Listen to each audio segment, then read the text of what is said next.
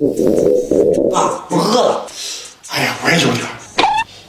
妈，哎，我有一个好主意，咱们再 PK 一把烧鸭料理啊，看谁做的最好吃。没问题，来，石头烧法。没问题，来吧。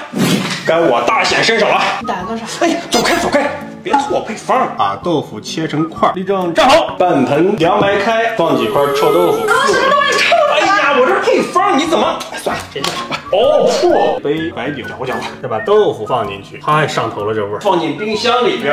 我不是我，要不然一冰箱的东西没法要了。好好好，放入冰箱。你还是看我的吧，冰箱里翻些食材先。我打算做个特别好玩的，黑不溜秋的炸一切。所有的食材选一小块。第一梯队高端肉类，最这边是和牛。第二梯队果蔬类，第三梯队奇葩类。全裹到那个木质炸粉里，看谁运气好。首先我得调个面浆，这是炸鸡好吃的关键的关键。搅和成这样，试过那么多配方，先浅尝一下。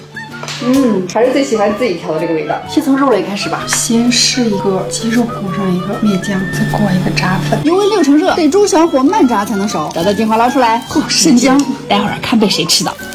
再来一个和牛，我得记住它的样子。这真的是真正的盲盒了，都乌漆麻黑的，炸出来谁都不认识谁。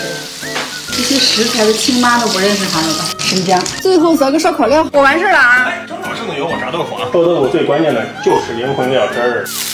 好，这味道立马就出来了，哇，太香了！再加入调料。臭豆腐来喽，得拿厨房纸吸干水分，下锅炸一炸。看看这色泽，火候的体现，要炸到金黄就可以捞出来了。怎么样？看着，不能给你们尝了啊！倒入万能料汁儿，再加入葱花和香菜，好吃吗？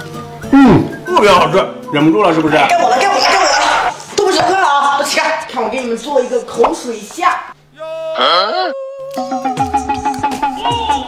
天，这这煮块面饼，然后给它拌一下，给你们面大哥腾个地。哇，看着太有食欲了。都做好了吗？现在怎么品尝啊？交换一下，好吧，我，我跟你说，最好吃的就是这个龙虾面了。不想吃，这味儿多有食欲，你不是好吃？就这味儿，哇！你们都是给我。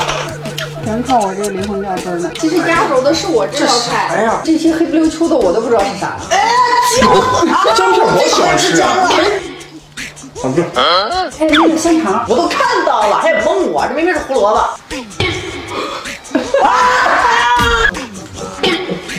哎呀，怎么了？鲍鱼，哎呀，鲍鱼被我抽到了。给我，给我，给我。不，啊，怎么这么快？谁最后吃完谁刷碗。